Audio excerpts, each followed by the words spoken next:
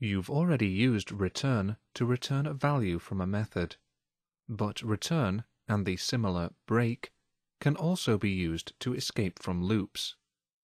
However, this is poor programming practice. It is best practice to avoid using break and return in loops wherever possible.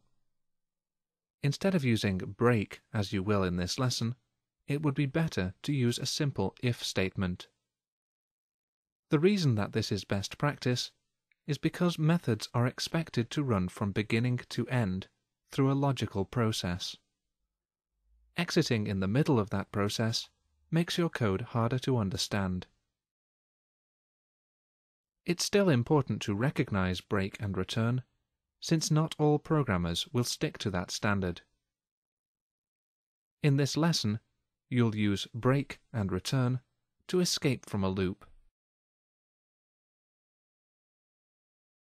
To begin, open the My Project sample file from your Sample Files folder.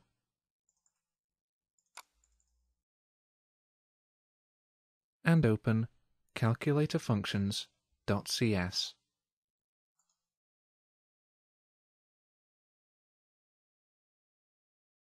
We are now going to use break to make the add to numbers method stop iterating when it encounters a value of 17. Using break, you can exit out of a loop without exiting the method. Add the following code immediately after the first curly bracket of the for loop. if numbers counter equals equals 17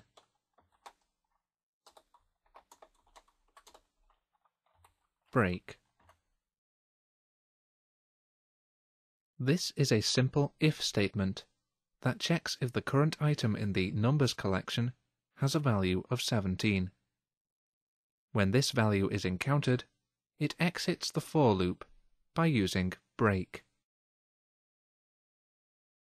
View calculator.aspx in your browser now and click the second button.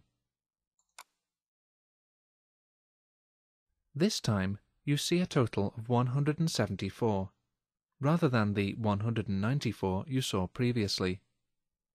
This is because your loop stops when it encounters the value of 17. So instead of 12 plus 10 plus 17 plus 10 plus 135 plus 10 equals 194, you're seeing 12 plus 10 plus 17 plus 135 equals 174. Close your web browser now.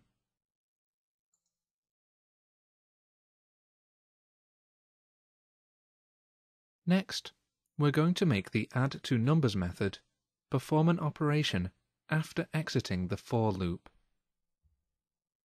Add the following code to the end of the add to numbers method outside the for loop's curly brackets. Numbers 0 equals numbers 0 plus 999 View calculator.aspx in your browser again, and click the second button. This time, you can see that the total comes to 1173. Your calculation is now 12 plus 10 plus 17 plus 135 plus 999. Although your break keyword exited from the for loop, it didn't exit the method. This meant that the code after the for loop was still executed. Close your web browser now. We're now going to change your break into return. As you might have guessed, return will exit the entire method, rather than just exiting the loop.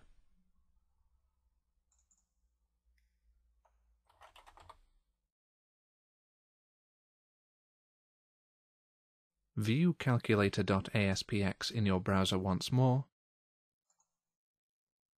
and click the button. As you can see, the total is now 174, just as it was earlier in this lesson.